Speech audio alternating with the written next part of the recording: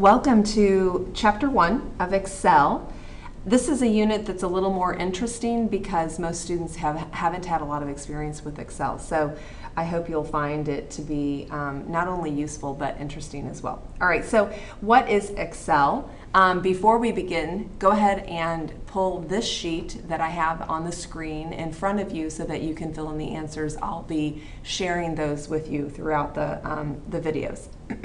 An Excel worksheet allows data to be summarized and charted easily. A chart conveys a visual representation of data. So in this chapter of Excel, we'll create a worksheet that includes a chart and the data in the worksheet and the chart will be for a personal budget worksheet that has monthly uh, expenses and income on it. So that's what you're going to create during this video. Um, just to give you a little more information about that, our budget information is going to be for our pretend character Bob Gleeman. He wants to estimate what his personal budget will look like for the year, so he's gathered together the information on how much he pays for various expenses and has a list of his current incomes. Now he wants an easy to read worksheet using this information to see how much he'll be ahead or behind each month to aid him in planning his budget. We're going to add a 3D pie chart um, so that we can show these expenses uh, as it relates to income for a 12 month period, making it a little easier. So the first step to, to creating an effective worksheet is to make sure you understand what is required. The first thing that we're going to do is, um, and let me actually pull this up really quickly. That is what an Excel worksheet is. Okay. All right, so now we're going to pull up Excel. There it is.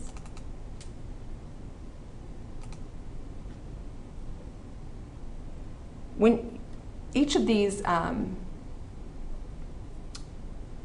boxes is a cell, and the easiest way to select a cell is to tap it. Um, but you can also use arrow keys. So if I want to take my cursor and tap, then I move to an another cell, or I can arrow up and down. You know that a cell is selected or active when a heavy border surrounds the cell, and then the active cell reference appears in the name box. This is the name box right here. So A3 is currently selected. If I come over here, we know that L8 is currently collected, uh, selected. If I go down here, we know that J22. So you'll have your letter references up on the top and your number references at the bottom.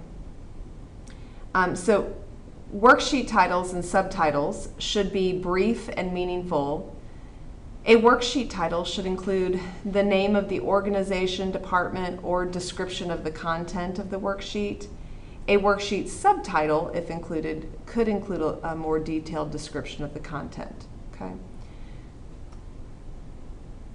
So the first thing that we're going to do is select cell A1, and we're going to enter personal budget worksheet.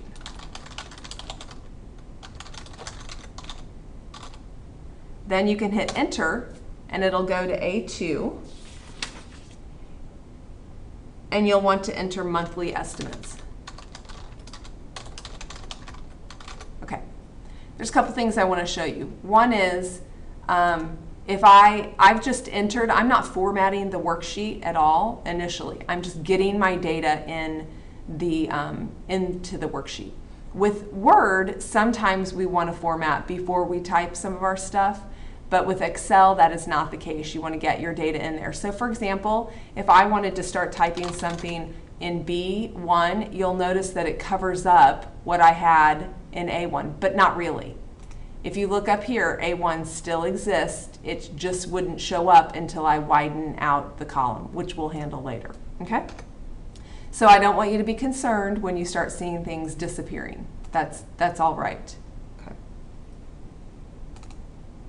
Okay, let's go back to our teacher notes and make sure that we fill those in. Worksheet titles and subtitles should be as brief and meaningful as possible. All right. Now it's time for us to go back to our Excel document and we need to enter our um, column titles. So all of these up the top, these are columns and this is where you'll put your column titles. Column titles always go um, horizontal. So we're going to um, click on A3 and we're going to type the word income. Then you're going to press the right arrow key rather than enter. If you hit enter, you'll go down. We don't want to go down. We want to do our column titles. So let's go back up here and you can either tab or you can right arrow key over. And then we're going to type January, tab or right arrow February, March, April, May, June, July, oops, August, September, October, November, December. Okay. In, in the final column, which is N3, we're going to write the word total. Then we want to select cell A8. So here, if we go down the A column and go to the eighth row, we know that we're in A8. So we're going to select that. And then we're going to type the word expenses. And again, January, February, March, April, May, June, July, August, oops, I must have hit cap lock, September, October, November, December, and total. The next step in developing the worksheet for this project is to enter the row titles for column A. So we're going to click on um, cell A4 and we're going to type the word wages. Hit enter and it'll go down and then we'll type dividends.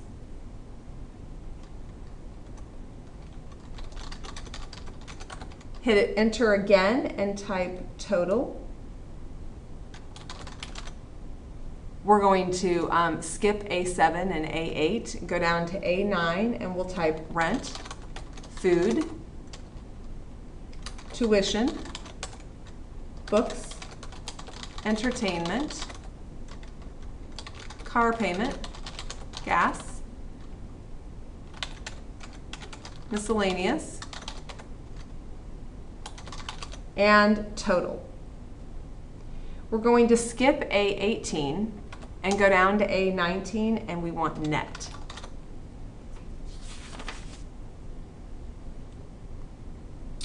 All right, so now it's time to go and click on cell B4. And we're going to type $1,000.29. We do not need the dollar sign. We'll handle that later. So, and no comma. So 1,000.29. It is important to put the decimal. And then we um,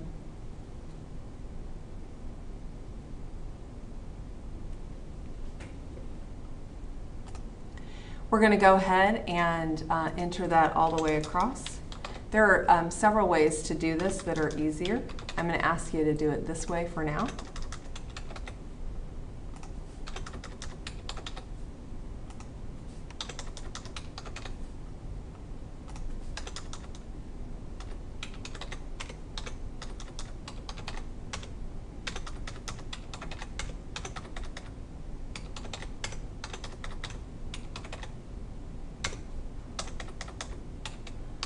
Oops, make sure you don't put anything in the total column. We'll handle that later. I'm going to review and make sure I've got everything the way that it needs to be.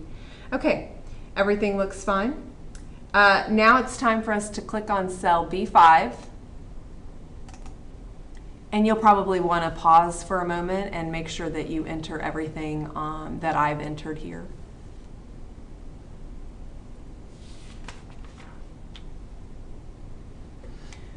When you're done with that, it's time now for us to start doing some calculations. So the next step in creating the worksheet is to perform calculations for our total rows. To do this, we'll use functions when you use functions, Excel perform, performs the calculations for you, which helps prevent errors and allows you to work more efficiently. This is one of the biggest challenges I find when students use Excel is they don't use the functions, they enter the data themselves, the totals, and that leaves room for more human error. So I always want you to use functions. All right, so totals are required for each month and for each budget item. So the first calculation is to determine the total income for the wages and dividends in the month of January in column B. So let's go back. So right here. That's our very first thing we're trying to figure out. To calculate this value in cell B6, Excel must add or sum the numbers in the cells B4 and B5. The sum function adds all the numbers in a range of cells. Okay, so that let's move back over to our teacher or to our student notes. The sum function adds all the numbers in a range. And a range is a series of two or more adjacent cells in a column or a row. All right, so what we're going to do is we're going to, um, we're on, we've activated B6 and now we want to click the sum button, which is on the home tab right here. That's our sum button. And we want to um, click on sum and you'll notice what happens is you get an equal sign, sum, and then in the parentheses is the range that it wants to add the, um, the colon represents through. So it's saying add B4 through B5. Um, that can become important when you are doing larger ranges as we'll do soon. Okay. You'll also see that the function shows up up here so that you can see it a little bit easier. Um, when you like that, then you go ahead and hit enter and it automatically sums that for you. You would do the same thing over here. Again, there's an easier way to do it, but I'm going to ask you to do it the way that I'm showing you so that you get used to using the sum function. Whoops. Now, did you guys catch what just happened? Um, if you look, and I was moving through it quickly and not paying attention, um, it automatically defaulted and said that they wanted that D6 would be adding B6 and C6. That is not true. We do not want these two to be added. I want uh, D4 and D5 to be added. So I can go in and change it to say D4 colon D5 and it highlights the box that I want to sum and then hit enter. Let's see what happens when we do this one sum, and again, it's moved it over to we, not the right spot, so we want E4 and E, uh, E5. So E4 colon E5. Now it's got the correct spot, hit enter.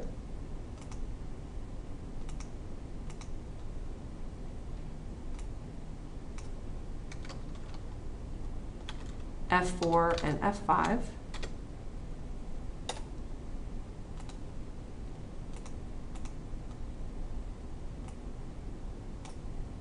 G4 and G5.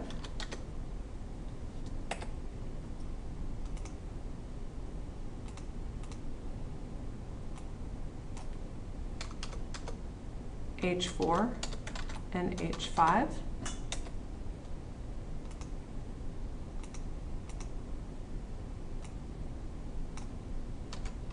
I4 and I5.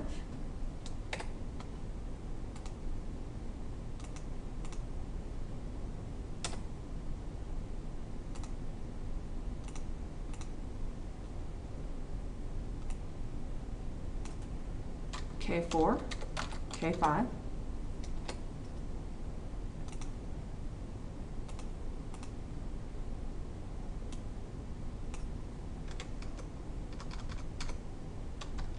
L4, L5.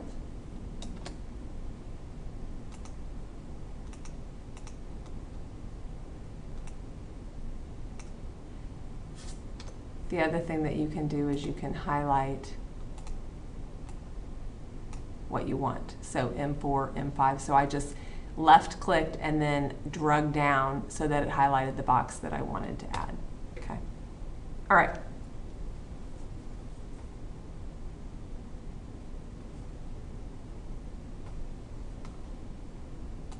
Okay, now I want you to go down to B17 and one more sum function down here. So we're going to do sum and we want to make sure it's got what we want, which is we want to add up rent. So B9 through um, miscellaneous expenses, B16, and that is correct, so we'll hit enter. I do not want you to fill this in just yet. I'm going to show you a shortcut.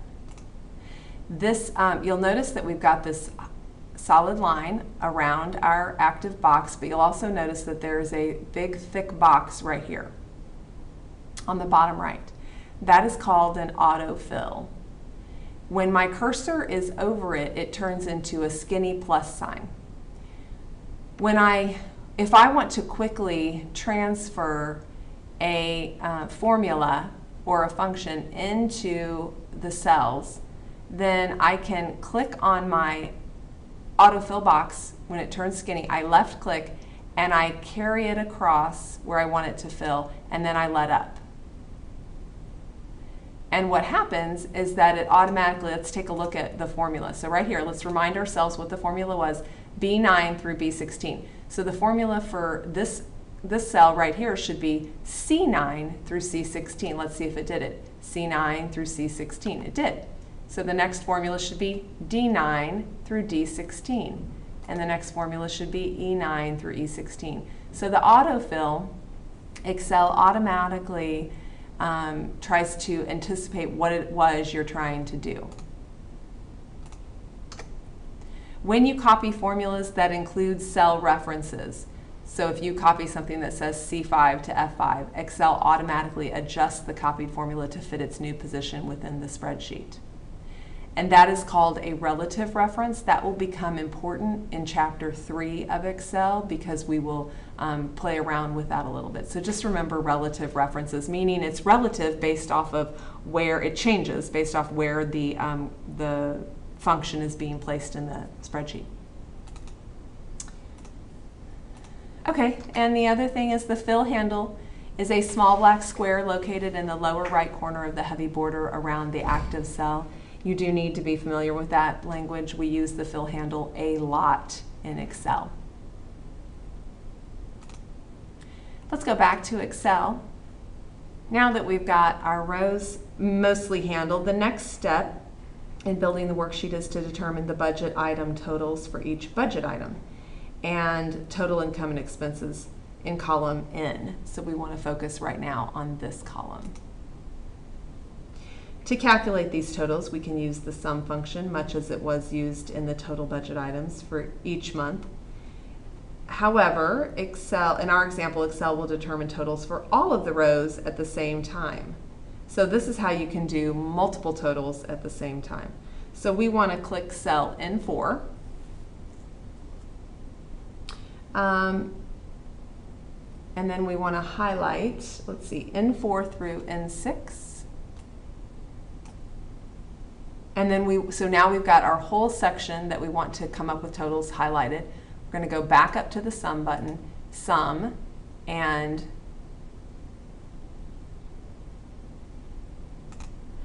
there's our totals. Okay.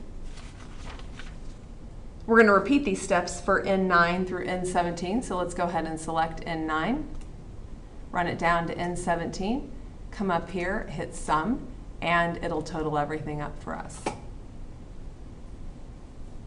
I'm double checking a few things. All right. Okay, so now we've got this this row, this uh, 19th row that has to be completed. The net for each a month for each month, which appears in row 19, is equal to the income less um, or minus the expenses. So when you take all your income and once you subtract out expenses, you have your net, which is what's left over. So what we need to do is um, select cell B19. So let's activate just that cell. And we want to type equal. And that's in the um, top right corner of your uh, keyboard. And we want to take B6 and then subtract B17. So we want this total from B6, which is our total January income, and we want to subtract our total expenses. You have to, Excel requires an equal sign in order for it to understand you're putting in a function. If you just type in B6 minus B17, it won't under, it just thinks you're typing text. It doesn't understand you're typing um, a function. So we'll hit enter and there is our total. That's our net, what's left over.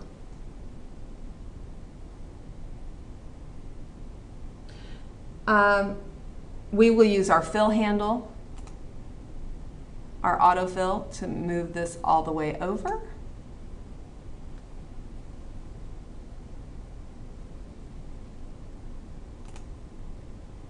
Okay, we're going to pause here and I'll create a second video so you can uh, end it now.